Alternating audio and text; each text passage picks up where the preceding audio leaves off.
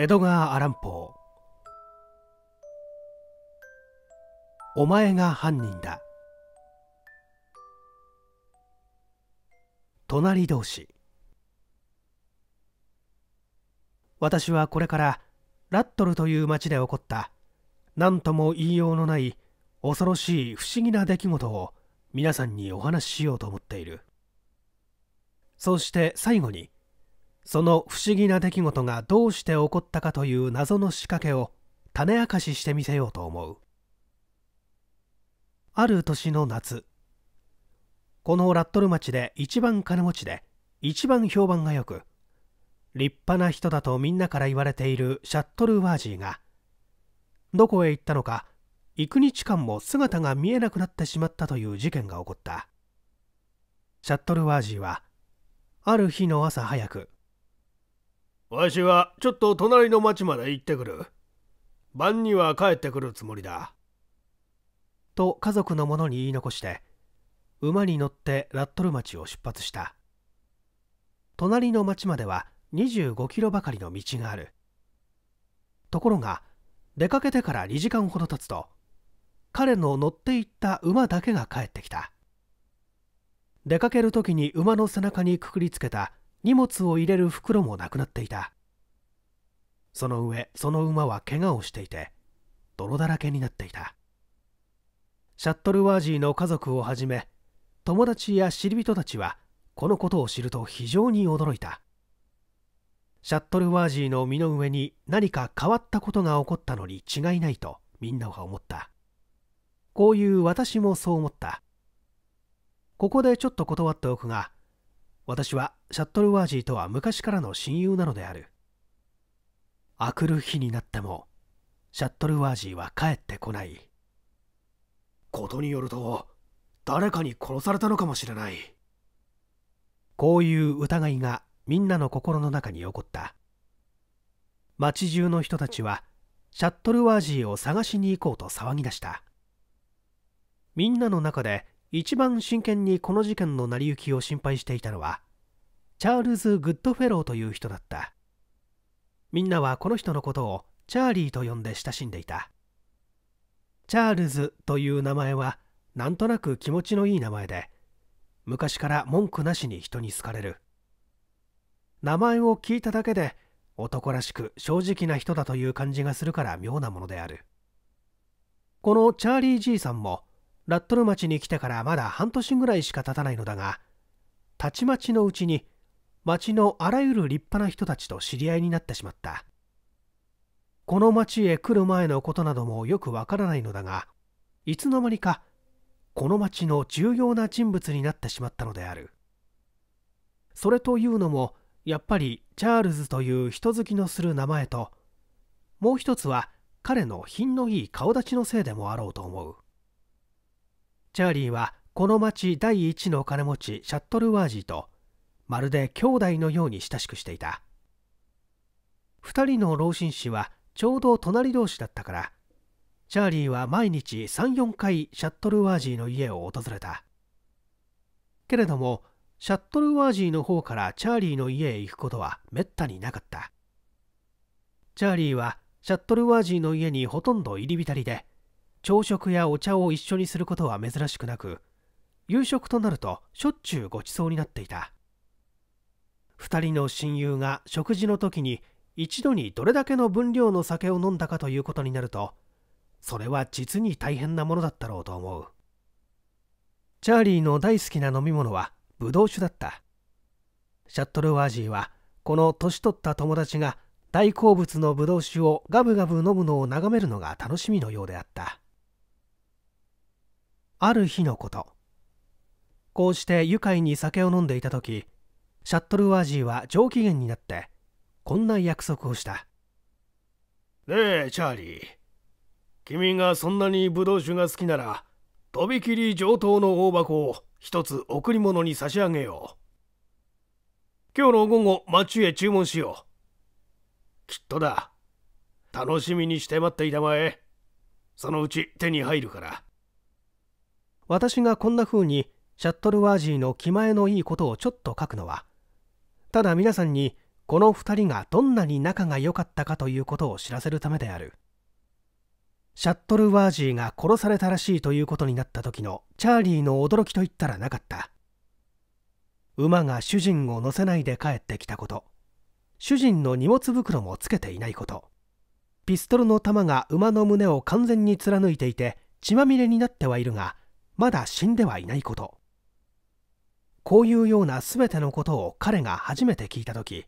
彼はその行方のわからなくなった人がまるで自分の兄弟か父親ででもあるかのように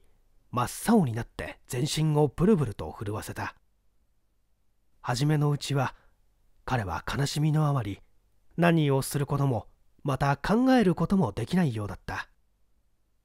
彼はシャットルワージーの知り人たちに向かってとにかくもう少し待って様子を見ましょうまあ1週間か2週間あるいは1ヶ月か2ヶ月でも待っているうちにまた何かが起こるかもしれませんからね。ことによるとシャットルワージーがひょっこり無事に帰ってきて馬だけを先に返してよこしたわけを話してくれるかもしれません。あんまり騒ぎ立てない方がいいでしょう。と言って自分から進んで何かしようとはまるでしなかったしばらく様子を見ようというのが精一杯でそれほど悲しみに打ちのめされていたらしいのだラットル町の人々はチャーリーの感慨深いことにはかねがね感心していたので多くの人たちは彼の意見に賛成し何かが起こるまでこの事件について騒ぎ立てないようにしようと思った。ところがシャットルワージーの甥にあたるペニフェザーという青年がみんなのこうした考えに反対した。この青年はこれまであんまり行いが良くなく性質もどっちかというと悪い方だった。じっとしていて待っているなんてとんでもないことだ。すぐに殺された人の死骸を探し出さなければならない。とペニフェザーは言い出したするとチャーリーは君は妙な言い方をするじゃないか。それではまるでシャットルワージーがもう生きていないというふうに聞こえるよ。鋭く問い詰めた。他の人々は彼のこの言葉になるほどと気がついた。そうだ。どうしてペニフェザーはおじさんが見えなくなっただけなのに殺されたのだときっぱり決めてしまうんだ。それとも君は何か訳を知っているのか？人々はペニフェザーに向かってこう尋ねた。普段から青年の行いが良くないのでなんとなく言うことが怪しいと言わんばかりの口ぶりなのだ。チャーリーとペニフェザーの間にこうした口喧嘩が起こったのは実は訳があった。二人は元から仲が良くなかった。ことにこの34ヶ月この方2人はお互いに少しもいい感情を持っていなかった。それというのはペニフェザーが叔父の家に世話になっていたのだがチャーリーが毎日のように入り浸ってあんまり我が物顔に勝手気ままなことをするのが尺に触ってある時喧嘩をして殴り倒してしまったからなのである。その時チャーリーは静かに起き上がるといつかそのうちに石返しをしてやる。とつぶやいただけで少しも手向かいをしなかった。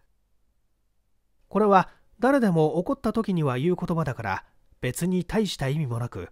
じきに忘れられてしまった。こういういきさつはともかくとしてペニフェザーの言うことももっともなので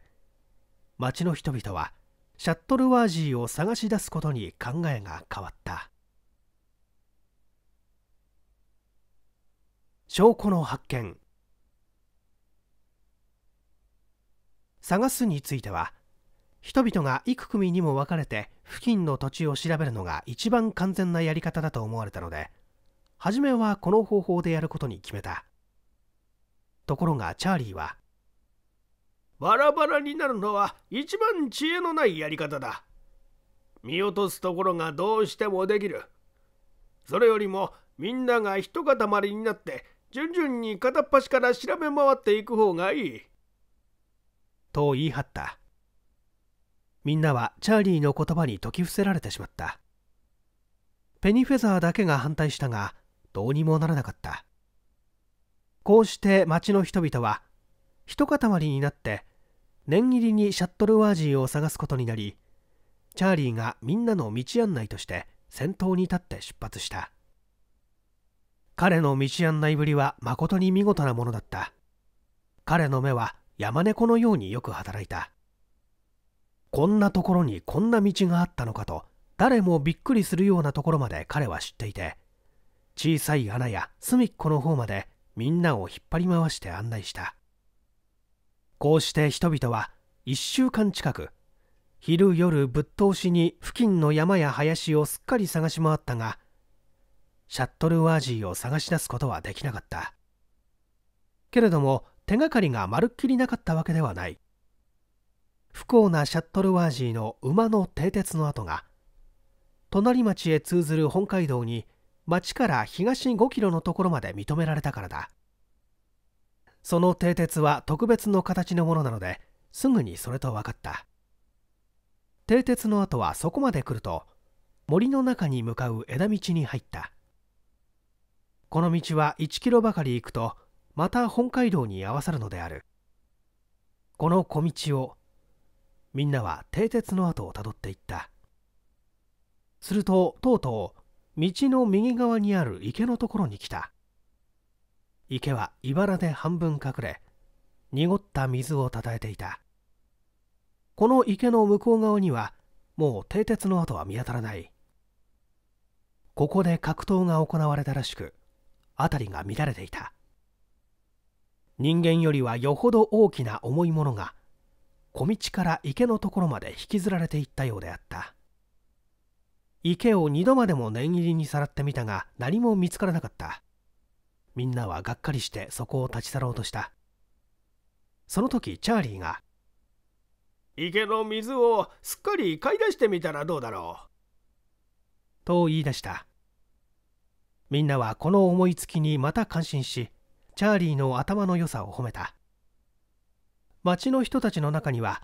ことによると死骸を掘り出さなければならないかもしれないと思って隙を持ってきた人もたくさんいたので水を買い出す仕事はたやすくはかどった。しばらくすると池の底が見えてきた。その途端人々は「なんだあれは」と瞳を凝らした。そこの泥の真ん中から出てきたものは黒いビロードの直帰だった。あこれはペニフェザーのものだ。それは人々がはっきりと見覚えのある品であった直帰はひどく裂けて血がついていたシャットルワージー君が隣町へ出かけたあの日の朝ペニフェザーがこの直帰を着ていたのを覚えている。というものが何人か出てきた。そういえば、あの日からのち、ペニフェザーがこの直帰を着ているのを見たことがないね。確かにない。というものもたくさんいた。それを打ち消す者は一人もいなかった。こうなると、ペニフェザーの立場は甚だ具合の悪いものになってきた。人々の疑いの目は彼に注がれた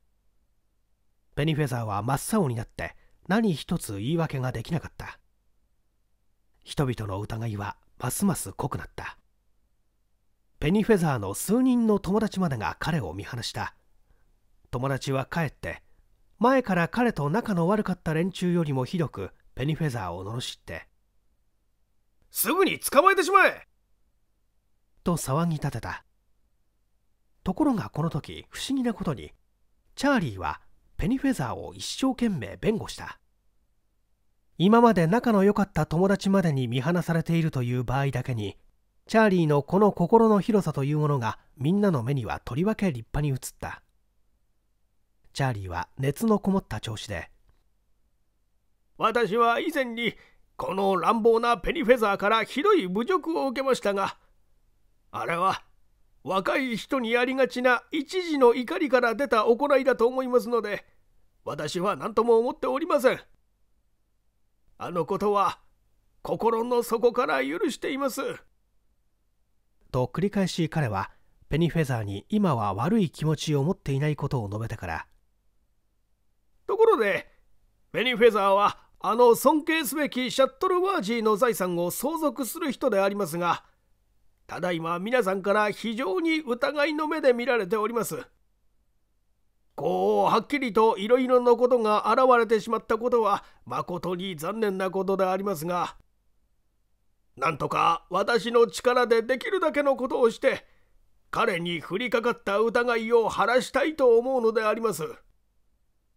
チャーリーはこんな調子で30分ばかりしんみりと話し続けた。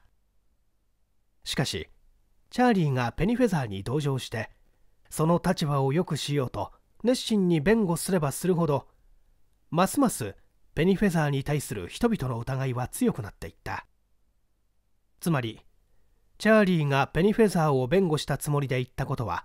どうもみんなちぐはぐな見当違いなことばかりでこれを聞いていると知らず知らずのうち反対にペニフェザーがいよいよ怪しく憎らしく思えてくるのである。チャーリーの弁護の言葉の中で一番大きな失敗はペニフェザーがシャットルワージーの財産を相続する人だと言ってしまったことである。人々は実はこのことをすっかり忘れていてそれまであまり考えていなかったのだ。12年前にペニフェザーの行いが良くないためシャットルワージーが甥いに財産を譲らないと言って脅かしたことだけを覚えていた。シャットルワージーにはペニフェザーの他に誰も財産を譲るような親戚がなかったのである。ラットル町の人々はペニフェザーは財産を相続できないものとばかり思い込んでいたのだ。ところが今チャーリーの弁護によって実はそうではないということが分かったのである。シャットルワージーはただペニフェザーの行いを改めさせようと思って脅かしただけだったのだ。だからペニフェザーはシャットルワージーが死ねば財産を相続することができる。すべての犯罪の原因を突き止める場合第一に考えることは誰が得をするかということであるがこの場合も人々はこのことに気がついた。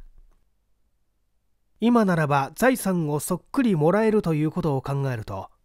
ペニフェザーに対する疑いの念はさらに強くなった。ペニフェザーはいつまたシャットルワージーが財産を譲らないというふうに気が変わるかもしれないので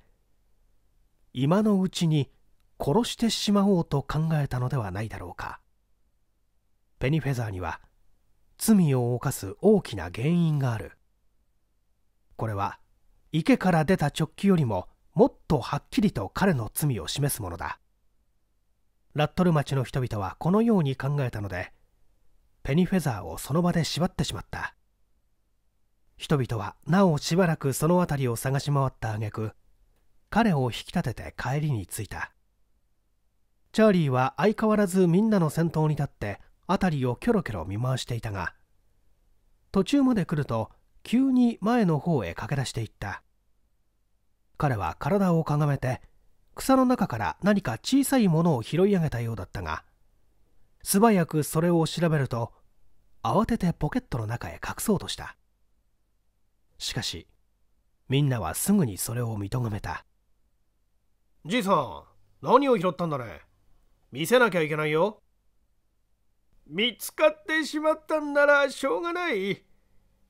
こんなものが落ちていたんだ。彼は拾ったものを人々の前に差し出した。それはスペインのナイフだった。おこれはペニフェザーのものだ。大勢の人々が口々に言った。ナイフの柄にはペニフェザーの頭文字が彫ってあったそして歯には血がついていた。これでペニフェザーの仕業だということがいよいよ確かになった。鉄砲の弾。ラットル町に着くと彼はすぐに判事の前に連れて行かれて取り調べを受けた。お前はシャットルワージンが見えなくなった日の朝どこにいたか。と判事は尋ねた。鉄砲で鹿を撃とうと思ってあの池の近くへ行きました。ペニフェザーは悪びれずに答えた。彼の立場はますます不利になった。この時チャーリーが目に涙を浮かべて進み出た。判事殿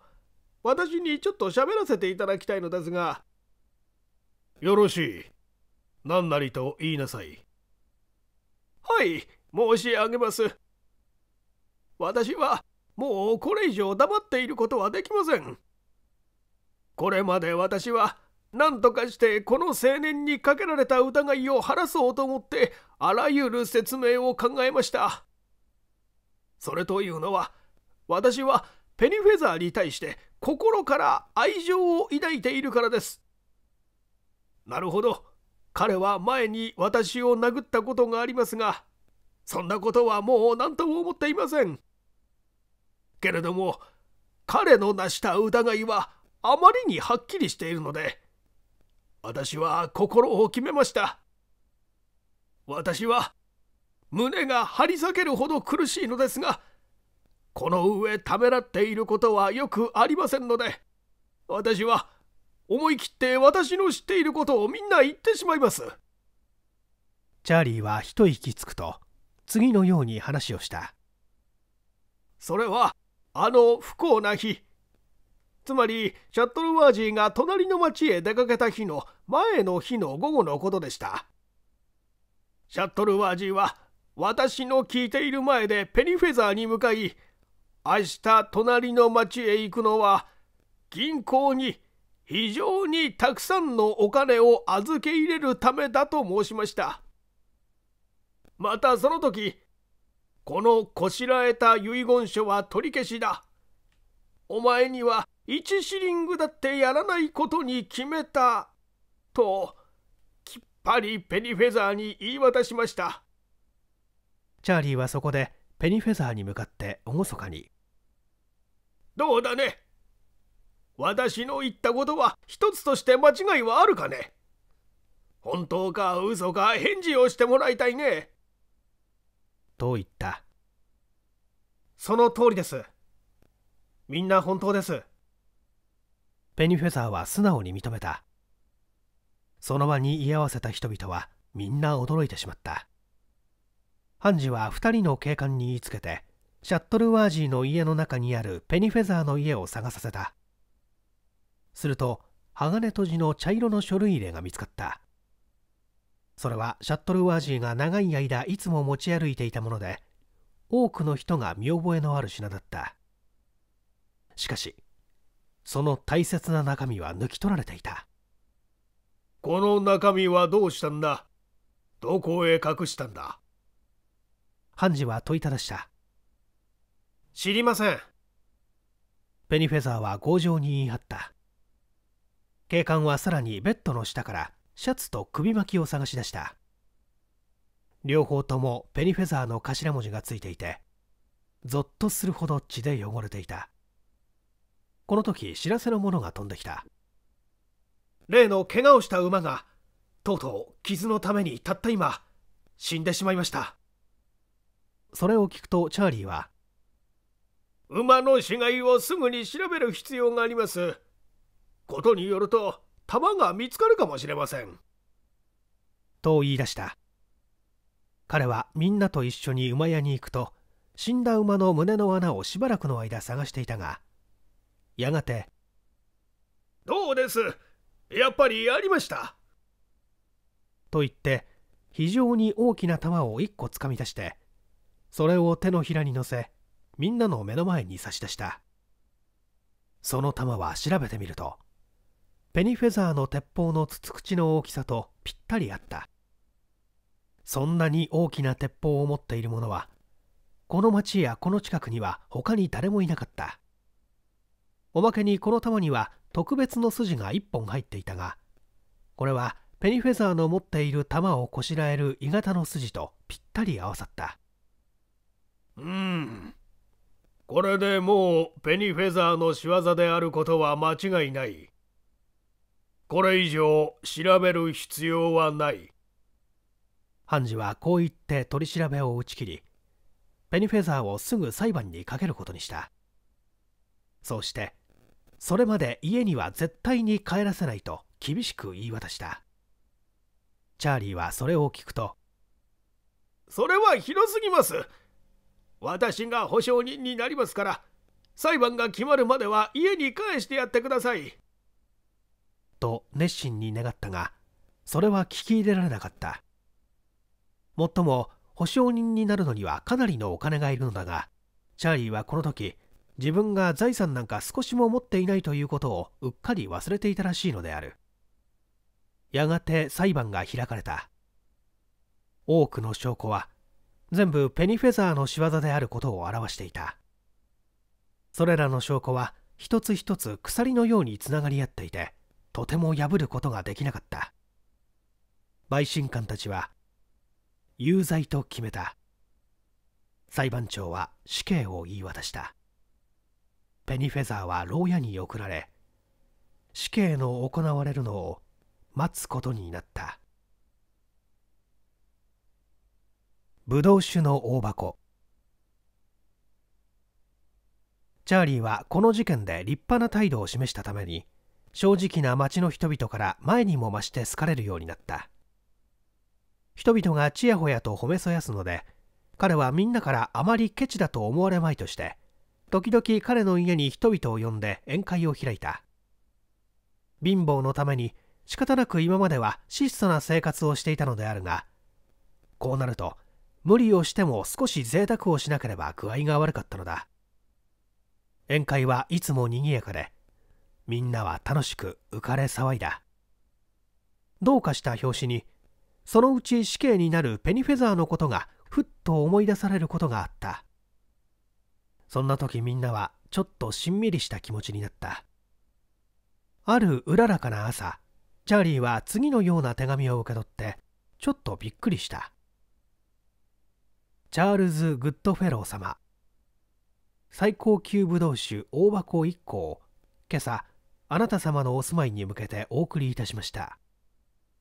これはいつもごひいきに預かっておりますシャットルワージー様が約2ヶ月ほど前にご注文なさいましてあなた様にお届けするようにお命じになったものでございます。HFB 商会。なおこの手紙をお受け取りになる日の次の日荷車でお届けいたします。シャットルワージー様へどうぞよろしく。チャーリーはすっかり嬉しくなってしまった。実を言うと彼はシャットルワージーが死んだのでブドウ酒をもらう約束も不意になってしまったとすっかり諦めていたのである。だから彼はこの手紙を読んだ時まるで天からの授かり物のように思った。嬉しさのあまり彼はこの親切なシャットルワージーからの贈り物をみんなに見せて一緒に喜びたいと思いあくる日大勢の友達を呼んで宴会を開くことにした。しかし招待状にはどういうわけかシャットルワージーについて一言も書かなかった。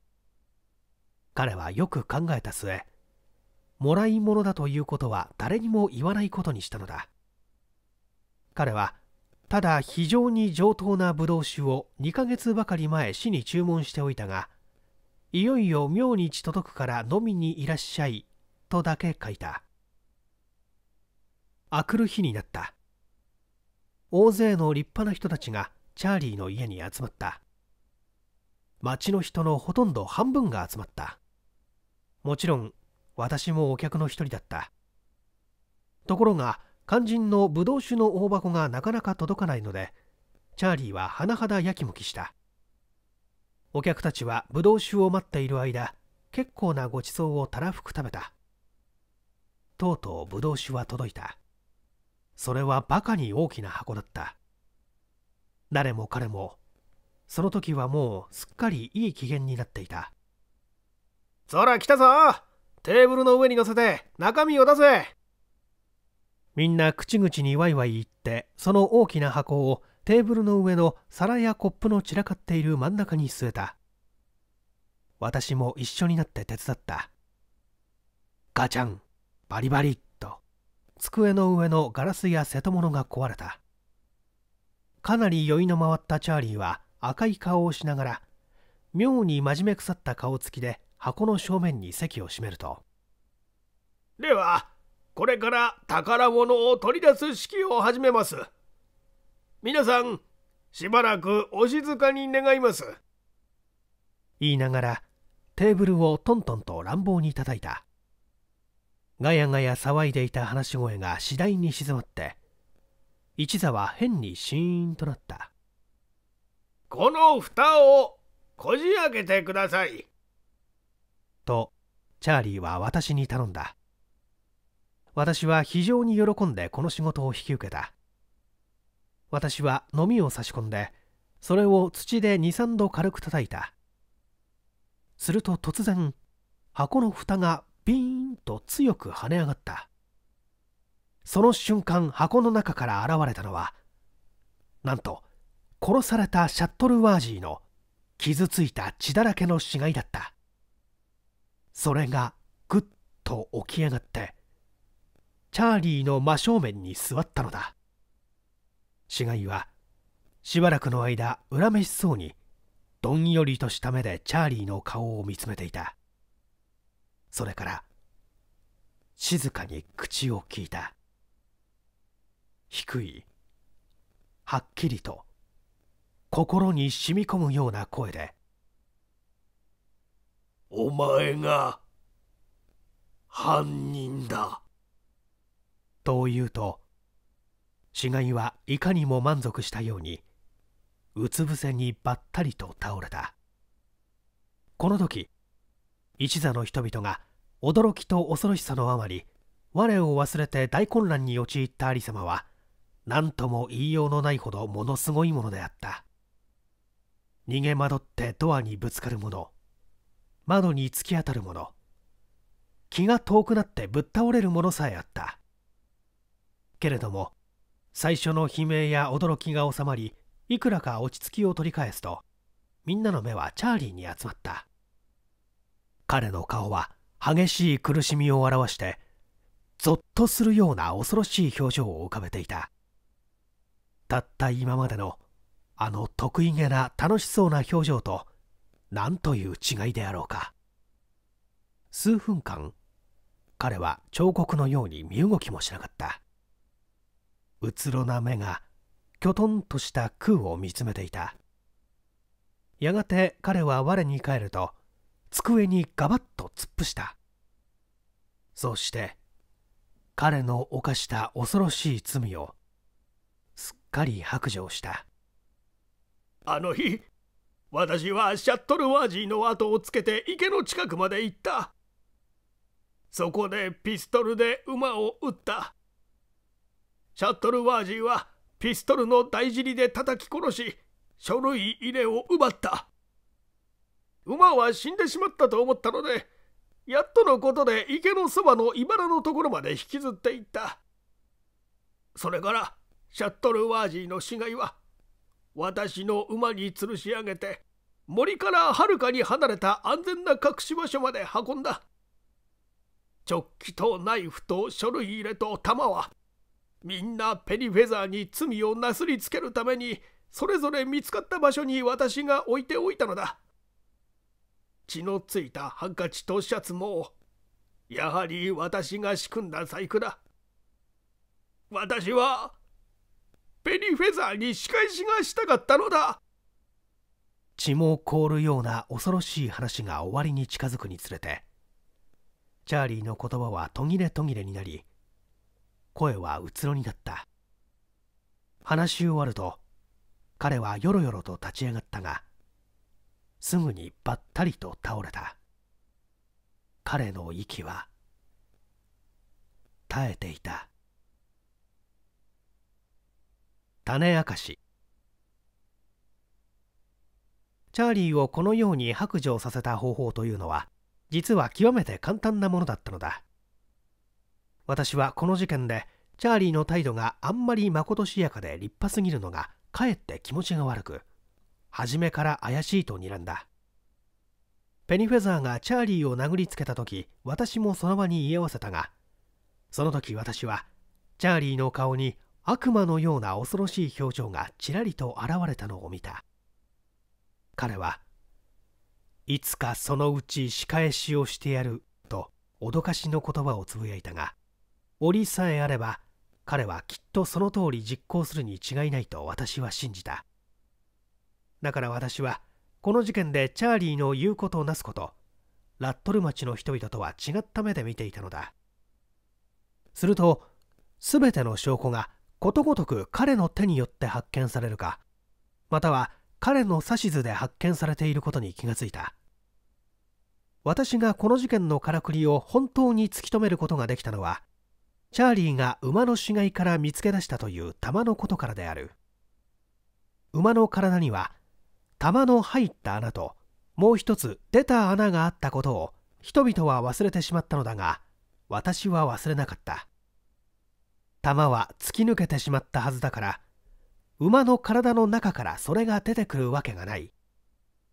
もし出たとすればそれは見つけた人が入れたに違いないと私は考えた。そこで血のついたシャツとハンカチも怪しいと思ってよく調べてみると血のように見えたのは赤ブドウ酒であることが分かった。こういう細工やまた最近になってチャーリーが急に贅沢になって景気よくお金を使い出したことなどを考え合わせると私は誰にも言わなかったけれどますます彼に強い疑いを抱くようになった。私はこっそりシャットルワージーの死体を探した。チャーリーが案内して回った場所とは全く違った場所を一生懸命探した。数日経ってやっと私は茨でほとんど隠されている水のない古井戸を見つけ出した。その底にシャットルワージーの死体があった。ところでチャーリーがシャットルワージーをおだててブドウ酒の大箱をもらう約束をした時私は偶然2人の話を聞いていた。私はこの話を思い出すとふとあることを考えついた。私はまず強くてよくしなるクジラの骨を一本手に入れそれをシャットルワージーの死体の喉から差し込み中のクジラの骨が曲がるように死体を折り曲げておいてそれをブドウ酒の大箱の中へ入れた。蓋を釘で止める間私は力を込めて蓋が上がらないように押さえつけた。釘を抜けば蓋をビーンと跳ね上げてクジラの骨の弾力で死骸が起き上がるという仕掛けなのである。箱の上にはブドウ酒のマークや番号をつけた。それからシャットルワージーのひいきにしていた酒会社の名で手紙を書いた。私は下男に言いつけてその箱を車に乗せ私が合図した時にチャーリーの家に運び込ませた。死体が口を聞いた言葉は私が腹話術を使ったのである。口を動かさずに声を出しまるで別の人がしゃべるように聞こえる腹話術に私は自信があった。犯人にいくらかでも良心があれば効き目は十分にあるはずだと私は信じたのだ。これで種明かしも全部済んだと思う。ペニフェザーはすぐに牢屋から出されシャットルワージーの財産を相続した。この事件ですっかり心を入れ替えその後は幸福な生活を送ったということである。